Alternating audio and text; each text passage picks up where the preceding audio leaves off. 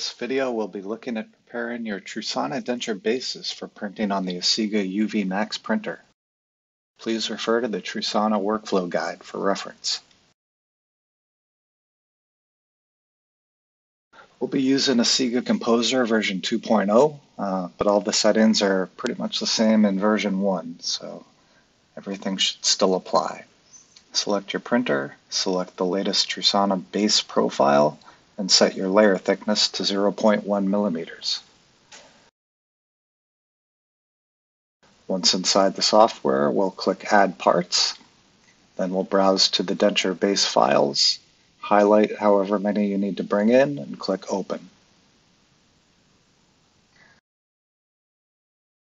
In this case, our sockets are facing upwards, and we'll want to flip those upside down. So we'll select all, choose Rotate Parts, Choose the y-axis and set to 180 degrees and click the up arrow.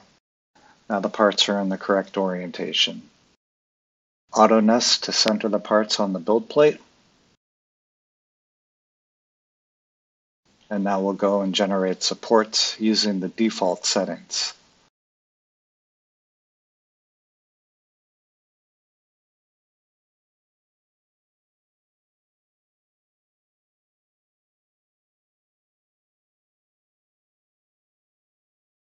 Once the supports are generated, we'll want to click the Remove button and manually remove supports from the tooth socket area.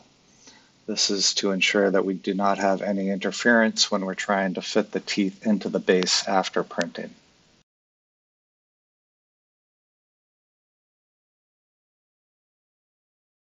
Once that's complete, uh, we're ready to send the job to the printer. We'll click print and set a name for the build. In this case, we'll call it Trusana Bases.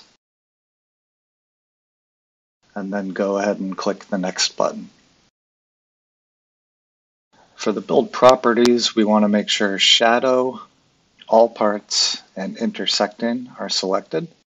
We'll increase the base plate thickness to 0.4 millimeters and set the mesh shape to none. Those are all the settings we need. We can go ahead and click print and send the job to the printer. Thank you very much for watching.